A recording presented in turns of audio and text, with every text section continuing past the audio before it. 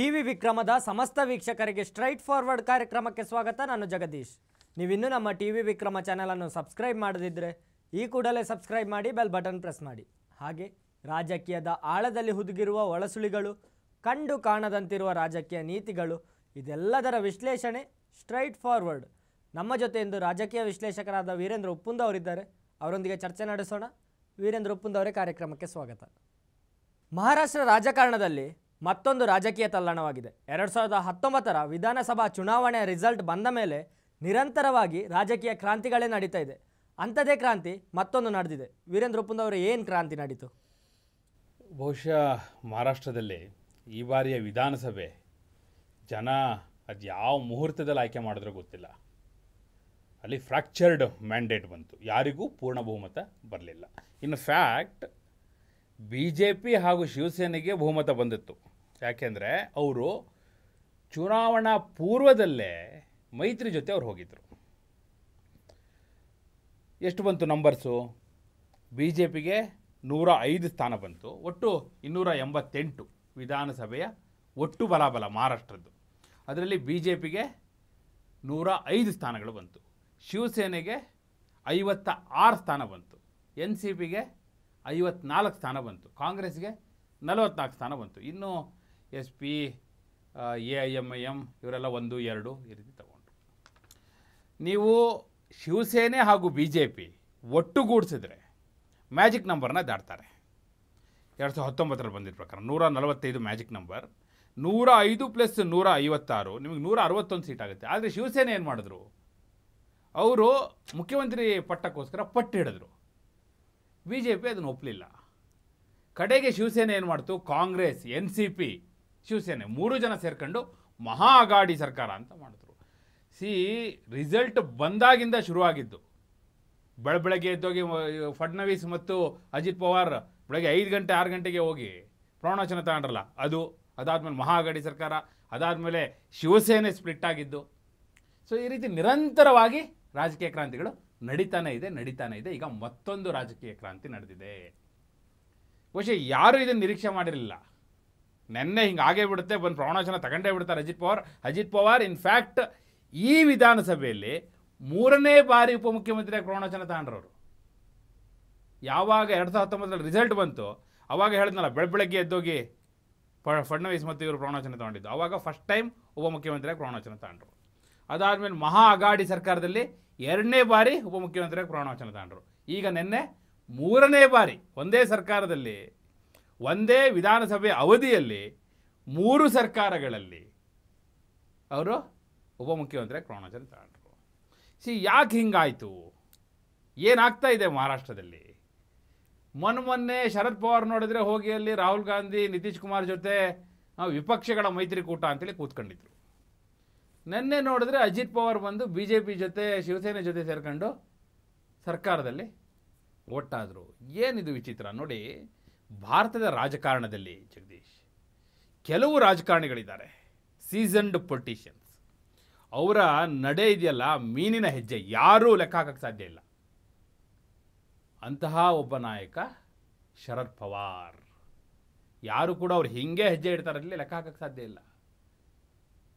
ಅವತ್ತು ಬೆಳಬೆಳಗ್ಗೆ ಫಡ್ನವೀಸ್ ಮತ್ತು ಅಜಿತ್ ಪವಾರ್ ಅಜಿತ್ ಪವಾರ್ ಪ್ರಾಣೋಚನ ತಾಳಕ್ಕೂ ಶರದ್ ಪವಾರ್ ಅವರೇ ಕಾರಣ. ಶರದ್ ಪವಾರ್ ಅವರೇ ಹೇಳಿದ್ದು. ಆ ನಂತರ ಅಲ್ಲಿಂದ ಹೊರಗೆ ಬಂದು ಮಹಾ ಅಗಾಡಿ ಸರ್ಕಾರದಲ್ಲಿ ಇವರು ಒಟ್ಟಾಗಿ ಹೊಸ ಸರ್ಕಾರ ರಚಿಸಲಿಕ್ಕೂ ಅದೇ ಶರದ್ ಪವಾರ್ ಕಾರಣ.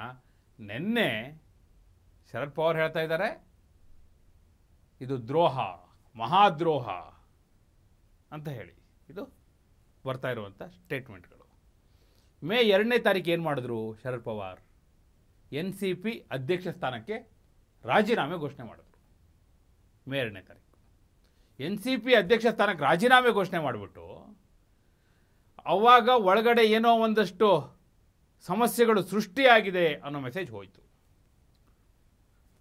ತಮ್ಮ ಪುತ್ರಿ ಸುಪ್ರಿಯಾ ಸುಲೆ ಅವರನ್ನು ಅವರು ಕಾರ್ಯಾಧ್ಯಕ್ಷರನ್ನಾಗಿ ನೇಮಕ ಮಾಡಿದ್ರು. ಜೊತೆಗೆ ಪ್ರಫುಲ್ ಪಟೇಲ್ ಅವ್ರನ್ನು ಕೂಡ, ಪ್ರಫುಲ್ ಪಟೇಲ್ ಅವ್ರನ್ನೂ ಕೂಡ ಕಾರ್ಯಾಧ್ಯಕ್ಷರನ್ನಾಗಿ ಮಾಡಿದ್ರು. ಅಲ್ಲಿಗೆ ಅಜಿತ್ ಪವಾರ್ಗೆ ಅಸಮಾಧಾನ ಸೃಷ್ಟಿಯಾಯಿತು ಅನ್ನೋ ಮೆಸೇಜ್ ಹೋಯಿತು. ಇಷ್ಟಾಗ್ತಿದ್ದ ಹಾಗೆ ಅಲ್ಲಿ ಒಂದು ಗುಸುಗುಸು ಶುರು ಆಯಿತು ಮಹಾರಾಷ್ಟ್ರ ರಾಜಕಾರಣದಲ್ಲಿ. ಕೆಲವು ಕಡೆ ರಿಪೋರ್ಟ್ ಆಗಕ್ಕೆ ಸ್ಟಾರ್ಟ್ ಆಯಿತು. Ajit Pawar is upset he is not happy with the decisions of Sharad Pawar ಅನ್ನೋ ರೀತಿಯ ಮೆಸೇಜ್ಗಳು ಕನ್ವೆ ಆಯಿತು. ಇದೆಲ್ಲ ಆಗ್ತಾ ಇತ್ತು. ಮೊನ್ನೆ ಮೊನ್ನೆ ನೀವು ನೋಡಿರ್ಬೋದು, ದೇವೇಂದ್ರ ಫಡ್ನವೀಸ್ ಒಂದು ಇಂಟರ್ವ್ಯೂ ಕೊಟ್ಟಿದ್ರು. ಅದರಲ್ಲಿ ಅವರು ರಾಷ್ಟ್ರೀಯ ಸುದ್ದಿವಾಹಿನಿಗೆ ಕೊಟ್ಟಂಥ ಸಂದೇಶ ಏನಂದರೆ ಶರದ್ ಪವಾರ್ ಅವರು ಡಬಲ್ ಗೇಮ್ ಮಾಡಿದ್ರು ಅನ್ನೋ ಮೆಸೇಜ್ ಕೊಟ್ಟರು ಅದಾದ ದಿನವೇ ಯಾವತ್ತು ಇಂಟರ್ ಪ್ರಸಾರ ಆಯಿತು ನೆಕ್ಸ್ಟ್ ಡೇ ಈ ಡೆವಲಪ್ಮೆಂಟ್ ಆಯಿತು. ಅಂದರೆ ಸಿ ಏನಾಗ್ತಾ ಇದೆ ಮಹಾರಾಷ್ಟ್ರ ರಾಜಕಾರಣದಲ್ಲಿ ಅಂತ ನೀವು ಕೇಳಿದ್ರಲ್ಲ, ಇನ್ನು ಒಂದು ವರ್ಷ ಅವಧಿ ಇದೆ.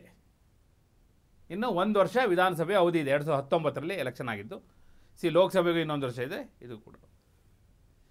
ಅಲ್ಲಿಗ ಶಿವಸೇನೆ ಹಾಗೂ ಬಿ ಜೆ ಪಿ ಸರ್ಕಾರ ಇದೆ. N C P, Sharad Pawar ಅವರು ಅಲ್ಲಿ ಕಾಂಗ್ರೆಸ್, ನಿತೀಶ್ ಕುಮಾರ್, ಮಮತಾ ಬ್ಯಾನರ್ಜಿ, ಅರವಿಂದ್ ಕೇಜ್ರಿವಾಲ್ ಇವ್ರ ಜೊತೆ ಕೂತ್ಕೊಂಡು ವಿಪಕ್ಷಗಳ ಮೈತ್ರಿಕೂಟ ಅಲ್ಲಿ ಕೂತಿದ್ದಾರೆ. ಇಲ್ಲಿ Ajit Pawar B J P ಜೊತೆ ಸೇರ್ಕೊಂಡಿದ್ದಾರೆ. ಈ ಗೇಮ್ ಇದೆಯಲ್ಲ, ಈ ಗೇಮ್ನ ಹಿಂದೆ ಕರ್ನಾಟಕದಲ್ಲೂ ನಾವು ನೋಡಿದ್ದೀವಿ, ಮಹಾರಾಷ್ಟ್ರದಲ್ಲಿ ಮತ್ತೆ ಮತ್ತೆ ನೋಡ್ತಾ ಇದ್ದೀವಿ. ಯಾಕೆ ಇದನ್ನು ಗೇಮ್ ಅಂತ ನಾನು ವ್ಯಾಖ್ಯಾನ ಮಾಡ್ತೀನಿ ಅಂದರೆ, ಯಾರ್ಯಾರು ನಿನ್ನೆ ಪ್ರಮಾಣವಚನ ತಗೊಂಡಿದಾರಲ್ಲ ಅವರೆಲ್ಲ ಕಮ್ಯುನಿಸ್ಟರ್ ಅಲ್ಲ ಶರದ್ ಪವಾರ್ ಅವರಿಗೆ. ಛಗನ್ ಭುಜ್ಬಲ್ ನನ್ನ ಪ್ರಮಾಣವಚನ ತಗೊಂಡಿದ್ದಾರೆ ಅವರು ಶರದ್ ಪವಾರ್ ಅವರಿಗೆ ದ್ರೋಹ ಮಾಡಿ ಹೋಗ್ಬೋದು ಅಂತ ನೀವು ಹೇಳಿ ಸಾಧ್ಯನಾ? ಸಾಧ್ಯ ಸಿ ಅಷ್ಟರ ಮಟ್ಟಿಗೆ ನಿಷ್ಠರವರು ಸೊ ಅಂಥ ಛಗನ್ ಭುಜ್ಬಲ್ ಈಗ ಅಜಿತ್ ಪವಾರ್ ಜೊತೆ ಹೋಗಿ ಪ್ರಮಾಣವಚನ ತಗೊಂಡಿದ್ದಾರೆ ಸಿ ಇವೆಲ್ಲ ಏನು ಇಂಡಿಕೇಶನ್ ಕೊಡುತ್ತೆ? ಸಿ ಒಂದು ವರ್ಷಕ್ಕೆ ಲೋಕಸಭಾ ಚುನಾವಣೆ ಇದೆ. ಮಹಾರಾಷ್ಟ್ರದ ವಿಧಾನಸಭೆ ಚುನಾವಣೆ ಇದೆ. ನನ್ನ ಪ್ರಕಾರ it's a political move it's a master stroke ಯಾಕಂದರೆ ಇವತ್ತಿನ ಬಲಾಬಲ ಇದೆಯಲ್ಲ ಅಲ್ಲಿ ಬಿ ಜೆ ಪಿ ಜೊತೆ B J P Shivsena Eknath Shinde ಬಣ ನಾನು ಶಿವಸೇನೆ ಅಂದರೆ ಹೇಳ್ತಾರೆ. ಯಾಕಂದರೆ ಸಿ ಏನು ನಾವು ರಾಜಕೀಯ ಕ್ರಾಂತಿಗಳು ಅಂತ ಹೇಳಿದ್ರಲ್ಲ ಅದರಲ್ಲಿ ಆ ರಾಜಕೀಯ ಕ್ರಾಂತಿ ಒಂದು ಯಾವುದು? ಏಕನಾಥ್. ಏಕನಾಥ್ ಶಿಂದೆ ನಲವತ್ತು ಜನ ಕರ್ಕೊಂಡು ಬಂದ್ರಲ್ಲ ಈ ಕಡೆ. ಅದು ಕೂಡ one of the important development ಈ ಹಿನ್ನೆಲೆಯಲ್ಲಿ ಬಹುಶಃ ಶರದ್ ಪವಾರ್ ಈ ಗೇಮ್ನ ಆಡಿರುವಂಥ ಸಾಧ್ಯತೆ ಇದೆ. ಯಾಕಂದರೆ ಅವರು ಭಾಳಷ್ಟು ಬಾರಿ ಈ ರೀತಿಯ ಗೇಮ್ಗಳನ್ನ ಆಡಿದ್ದಾರೆ ಮತ್ತು ಅದರಲ್ಲಿ ಸಕ್ಸಸ್ ಆಗಿದ್ದಾರೆ. ಅಂಥದ್ದೇ ಒಂದು ಮೂವ್ ಇದಾಗಿರ್ಬೋದು. ಯಾಕಂದರೆ ಇನ್ನು ಒಂದೇ ವರ್ಷದ ಅವಧಿ ಇದೆಯಲ್ಲ, ಅವ್ರು ಹೇಗೆ ಬೇಕಾದ್ರೂ ಮ್ಯಾನೇಜ್ ಮಾಡ್ಬೋದು. ಭಾಳ ದೊಡ್ಡ ಇದನ್ನು ಕಷ್ಟದ ಪರಿಸ್ಥಿತಿ ಅಲ್ಲ. ಆದರೆ ಆರಂಭದಲ್ಲಿ ಅವರಿಗೆ ಅದು ಚಾಲೆಂಜಿಂಗ್ ಆಗಿತ್ತು. ಯಾಕಂದರೆ ಐದು ವರ್ಷ ಮೇಂಟೈನ್ ಮಾಡಬೇಕಿತ್ತು ನ್ಯಾಷನಲಿಸ್ಟ್ ಕಾಂಗ್ರೆಸ್ ಪಾರ್ಟಿ ಅಂತ ಇಟ್ಕೊಂಡು ಬಿ ಜೆ ಪಿ ಜೊತೆ ಐದು ವರ್ಷ ಮೈತ್ರಿಯನ್ನು ಮುಂದುವರಿಸೋದು ಅಷ್ಟು ಸುಲಭ ಸಾಧ್ಯ ಆಗಿರಲಿಲ್ಲ. ಹಾಗಾಗಿ ಅವತ್ತು ಆ ನಿರ್ಧಾರವನ್ನು ತೆಗೆದುಕೊಂಡು ಮಹಾಗಾಡಿ ಜೊತೆ ಹೋದರು. ಇವತ್ತು ಅಜಿತ್ ಪವಾರ್ ಮೂಲಕ ಈಗಿರುವಂಥ ಸರ್ಕಾರದ ಭಾಗವಾಗಿದ್ದಾರೆ, ಅಧಿಕಾರದ ಭಾಗವಾಗಿದ್ದಾರೆ. ಇಟ್ಸ್ ಎ ಗೇಮ್ ಅಂತ ನನಗನ್ಸುತ್ತೆ. ನೀವು ಹೇಳಿದ್ರಿ ಇದೊಂದು ಗೇಮ್ ಅಂತೇಳಿ. ಆದರೆ ಶರದ್ ಪವಾರ್ ಹೇಳ್ತಿದ್ದಾರೆ, ಎನ್ ಸಿ ಪಿ ನನ್ನದು ಅಂತ ಹೇಳ್ತಿದ್ದಾರೆ. ಅಜಿತ್ ಪವಾರ್ ಹೇಳ್ತಿದ್ದಾರೆ, ನನ್ನ ಹತ್ರ ಎಲ್ಲ ಎಂ ಎಲ್ ಎಗಳಿದ್ದಾರೆ, ಎಲ್ಲ ಮೆಂಬರ್ಸ್ ನನ್ನ ಜೊತೆ ಇದ್ದಾರೆ ಅಂತ. ಈಗ ಮುಂದೆ ಇದೇ ರೀತಿ ನಡೆದ್ರೆ ಎನ್ ಸಿ ಪಿಯ ಲೋಗೋ ಯಾರಿಗೆ ಸಿಗ್ಬೋದು? ಚಿಹ್ನೆ ಯಾರಿಗೆ ಸಿಗ್ಬೋದು? ಇದು ಕೂಡ part of the game is also part of the game C ಒಂದು ಆಟ ಶುರು ಮಾಡಿದ್ಮೇಲೆ ಅದರ ಎಲ್ಲ ಪಟ್ಟುಗಳು ಗೊತ್ತಿರಬೇಕು ಅವರಿಗೆ. ಆ ಪಟ್ಟುಗಳನ್ನೆಲ್ಲ ಗೊತ್ತಿದ್ದೇ ಅಖಾಡಕ್ಕೆ ಇಳಿಯೋದು. ಸುಮ್ಮನೆ ಹೇಳ್ತಾರ ಅದರಲ್ಲೂ ಶರದ್ ಪವಾರ್ ಅಂತ ಜಗಜಟ್ಟಿ. ಸುಮ್ಮನೆ ಹೇಳ್ತಾರ ಸಿ ಯಾವುದು ನೀವು ಹೇಳಿ ನನಗೆ ಈಗ ಶಿವಸೇನೆ ಕೂಡ ಇದೇ ರೀತಿ ಆಯಿತು. ಇದಕ್ಕೂ ಮೊದಲು ನಾನು ಕರ್ನಾಟಕದ್ದೇ ನಿಮಗೆ ಉದಾಹರಣೆ ಕೊಡ್ತೀನಿ. ಸಾವಿರದ ಒಂಬೈನೂರ ತೊಂಬತ್ನಾಲ್ಕರಲ್ಲಿ ಜನತಾದಳ ಏನು ಅಧಿಕಾರಕ್ಕೆ ಬಂತು? ಚಕ್ರ ಚಿಹ್ನೆ. ಯಾವುದು? ಜನತಾದಳ ಚಿಹ್ನೆ ಏನು? ಚಕ್ರ. ಹಸಿರು ಚಕ್ರ. ತೊಂಬತ್ತೊಂಬತ್ತರ ಹೊತ್ತಿಗೆ ಜನತಾದಳ ಸ್ಪ್ಲಿಟ್ ಆಯಿತು. ಒಂದು ಕಡೆ ರಾಮಕೃಷ್ಣ ಹೆಗ್ಡೆ ಅವ್ರ ಬಣ ಇನ್ನೊಂದು ಕಡೆ ದೇವೇಗೌಡರು ಬಣ. ಆಗ ಇದೇ ಕ್ಲೈಮ್ ಮಾಡಿದ್ರು ಅವಾಗ. ರಾಮಕೃಷ್ಣ ಹೆಗ್ಡೆ ಅವರು, ನಂದು ನಿಜವಾದ ಜನತಾದಳ ಅಂತ ಆ ಕಡೆ ದೇವೇಗೌಡರು, ನಂದು ನಿಜವಾದ ಜನತಾ ದಳ ಅಂತ. ಕಡೆಗೆ ಆ ಚಕ್ರ ಅವರಿಗೂ ಸಿಗಲಿಲ್ಲ, ಇವರಿಗೂ ಸಿಗಲಿಲ್ಲ. ದೇವೇಗೌಡರು ತೆನೆ ಹೊತ್ತ ಮಹಿಳೆ ಚಿಹ್ನೆ ತಗೊಂಡ್ರು, ಅವರು ಬಾಣದ ಗುರುತ ಅಂದರು. ಸಂಯುಕ್ತ ಜನತಾ ದಳ ಅಂತ ಇತ್ತು ಜನತಾ ದಳ ಯುನೈಟೆಡ್ ಇವರು ಸೆಕ್ಯುಲರ್ ಚಕ್ರ ಚಿಹ್ನೆ ಹೋಯ್ತು. ನಿಮಗೆ ಇಡೀ ಭಾರತದ್ದೇ ಬೇಕಾದ್ರೆ ಉದಾಹರಣೆ ಕೊಡ್ತೀನಿ. ಇಂದಿರಾ ಗಾಂಧಿ ಅವರು ಇದ್ದಾಗ ಕಾಂಗ್ರೆಸ್ ಸ್ಪ್ಲಿಟ್ ಆಯ್ತಲ್ಲ. ಸಿ, ಆಗಲೂ ಕೂಡ ಕಾಮರಾಜ್ ಕಾಮರಾಜ್ ಅವರು, ನೀಲಂ ಸಂಜೀವ್ ರೆಡ್ಡಿ ಅವರು, ಇವರೆಲ್ಲರ ನೇತೃತ್ವದಲ್ಲಿ ಏನು O, Congress O, old Congress ಅಂತಲೇ ಮಾಡ್ಕೊಂಡ್ರು. ಆಗಲೂ ಕೂಡ ಆಗ ಯಾವುದಿತ್ತು ಕಾಂಗ್ರೆಸ್ ಚಿಹ್ನೆ ಹಸ್ತ ಅಲ್ಲ, ಬಹುಶಃ ನೀವು ನೋಡಿರಲಿಕ್ಕಿಲ್ಲ. ಧನಕರು, ಹಸುಕರು ಚಿಹ್ನೆ ಕಾಂಗ್ರೆಸ್ದು. ಇಬ್ಬರು ಕೂಡ ಫೈಟ್ ಮಾಡ್ತಾಯಿದ್ರು ನಮ್ಮದು ನಮ್ಮದು ಅಂತೇಳಿ. ಆಯಿತಾ ಇದು ಭಾರತದ ಇತಿಹಾಸದುದ್ದಕ್ಕೂ ನೀವು ನೋಡ್ಕೊಂಬಂದರೆ ಇಂಥ ಬಹಳಷ್ಟು ಪ್ರಕರಣಗಳಿವೆ. ಸೊ ಎಲೆಕ್ಷನ್ ಕಮಿಷನ್ ಏನು ಮಾಡುತ್ತೆ ಅನ್ನೋದ್ರ ಮೇಲೆ ಹೋಗುತ್ತೆ. ಎಲೆಕ್ಷನ್ ಕಮಿಷನ್ನು ನೋಡಿ ಸಾವಿರದ ಒಂಬೈನೂರ ಅರವತ್ತೆಂಟರ ಒಂದು ಆದೇಶ ಇದೆ. ಆ ಆದೇಶವನ್ನು ಅನುಸರಿಸಿ ಯಾರ ಜೊತೆ ಅತಿ ಹೆಚ್ಚು ಎಂ ಎಲ್ ಎಗಳಿದ್ದಾರೆ ಅತಿ ಹೆಚ್ಚು ಎಂ ಪಿಗಳಿದ್ದಾರೆ ಆಫೀಸ್ ಬಿಯರ್ಸ್ ಅಂದರೆ ಪದಾಧಿಕಾರಿಗಳು ಯಾರ ಜೊತೆ ಅತಿ ಹೆಚ್ಚು ಸಂಖ್ಯೆಯಲ್ಲಿದ್ದಾರೆ, ಇವೆಲ್ಲವನ್ನೂ ಕೂಡ ಪರಿಗಣನೆಗೆ ತೆಗೆದುಕೊಳ್ಳುತ್ತೆ. ಅದನ್ನು ಆಧರಿಸಿ ಅದು ತೀರ್ಮಾನವನ್ನು ಕೊಡುತ್ತೆ ಅನ್ನೋದು ಬಟ್ ಬಹುಶಃ ಆ ಲೆವೆಲ್ಗೂ ಹೋಗೋದಿಲ್ಲ. ಇವ್ರು ಏನು ಮಾಡ್ತಾರೆ? ಸಿ ನಂಗೀಗ ಇವರು ಡಿಸ್ಕ್ವಾಲಿಫಿಕೇಷನ್ ಮಾಡಿದ್ರ ಬಗ್ಗೆನೇ ಪ್ರಶ್ನೆಗಳಿವೆ. ಗೊತ್ತಾಯ್ತು? ಯಾಕಂದರೆ ಒಂದು ವರ್ಷ ಅವಧಿ ಇದೆ. ಈಗ ಸ್ಪೀಕರ್ ತೀರ್ಮಾನ ಅದು. ಹಾಂ ಇವೆಲ್ಲ ಒಂದು ವರ್ಷದ ಅವಧಿಯಲ್ಲಿ ಹೇಗೂ ಮ್ಯಾನೇಜ್ ಮಾಡಿಬಿಡ್ಬೋದು. ಸೊ ಆ ರೀತಿ ಮಾಡ್ತಾರಾ ಅನ್ನುವಂಥ ಪ್ರಶ್ನೆಗಳು ಕೂಡ ಇವೆ. ಆಮೇಲೆ ಚಿಹ್ನೆ ಎಲ್ಲ ತೀರ್ಮಾನ ಆಗೋಷ್ಟೊತ್ತಿಗೆ ಎಲೆಕ್ಷನ್ ಬಂದಿರುತ್ತೆ. ಒಂದು ವರ್ಷ ಅಂದರೆ ಆರೇ ತಿಂಗಳ ಲೆಕ್ಕ ನಿಮಗೆ. ಲಾಸ್ಟ್ ಆರು ತಿಂಗಳು ಎಲೆಕ್ಷನ್ ಟೈಮ್ ಅದು. ಯಾರು ಕಡೆ ಆರು ತಿಂಗಳುಗಳನ್ನ ಆಡಳಿತ ಅವಧಿ ಅಂತ ಅನ್ಕೊಳ್ಳೋದಿಲ್ಲ. ಅದನ್ನು ಎಲೆಕ್ಷನ್ ಟೈಮ್ ಅಂತಲೇ ಕನ್ಸಿಡರ್ ಮಾಡ್ತಾರೆ. ಹೀಗಾಗಿ ನನಗನ್ಸುತ್ತೆ ಹೀಗೆ ತಳ್ತಾರೆ ಇದನ್ನು. ತಳ್ಬಿಟ್ಟು ಎಲೆಕ್ಷನ್ ಹತ್ರ ಬಂದಾಗ ಏನೋ ಒಂದು ನೋಡಿ ಮೊಮೆಂಟಮ್ ನೋಡಿ ಯಾವ ಕಡೆ ಚೇಂಜ್ ಆಗಬೇಕು, ಆ ಕಡೆ ಚೇಂಜ್ ಆಗುವಂಥ ಲಕ್ಷಣಗಳು ಗೋಚರಿಸ್ತಾ ಇದೆ. ಇಟ್ಸ್ ಟೂ ಅರ್ಲಿ ಅನ್ಸುತ್ತೆ ನನಗೆ. ಚಿಹ್ನೆ ತೀರ್ಮಾನ ಆಗ್ಬಿಡೋದು. N C P nationalist Congress party ಅನ್ನುವಂಥ ಹೆಸರು ತೀರ್ಮಾನ ಆಗೋದು. It's too early it's take time it's take its own time ಹೀಗಾಗಿ ಆದರೆ ಒಂದಂತೂ ನಿಜ, ಯಾವಾಗ ಜನ ಫ್ರ್ಯಾಕ್ಚರ್ಡ್ ಮ್ಯಾಂಡೇಟ್ ಕೊಡ್ತಾರೆ, ಆ ಎಲ್ಲ ಸಂದರ್ಭಗಳಲ್ಲೂ ಈ ರೀತಿಯ ಈ ರೆಸಾರ್ಟ್ ರಾಜಕಾರಣ ರಾತ್ರೋರಾತ್ರಿ ಇದಾಗುವಂಥದ್ದು, ನಿರಂತರವಾಗಿ ನಡೆಯುತ್ತೆ.